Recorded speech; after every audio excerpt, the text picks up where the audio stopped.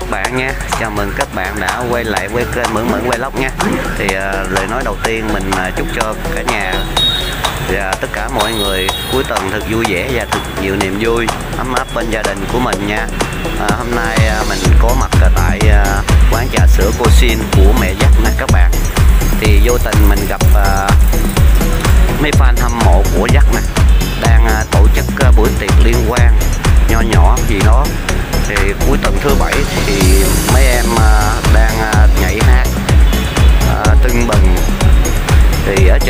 ở rất là vui luôn. Thì quán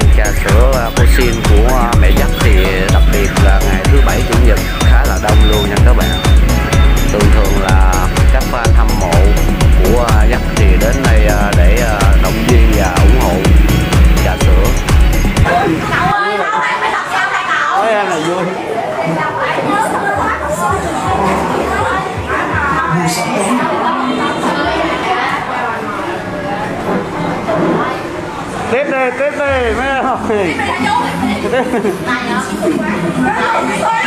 tiếp đi đây là ban của hâm mộ của dắt nè mọi người ơi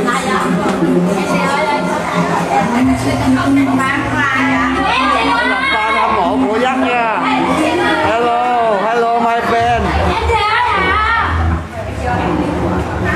đây, các bạn thì đây là fan hâm mộ của à, dắt có cả nam, cả nữ luôn.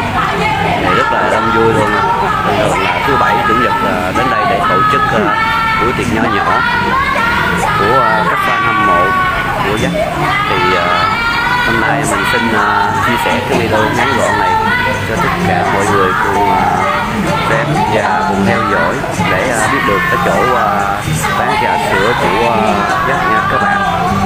Thì mình xin à, kết lại cái video tại đây. Mình xin à, chúc cho tất cả mọi người và các cô chú anh chị có một ngày cuối tuần thật vui vẻ và thật nhiều sức khỏe nha.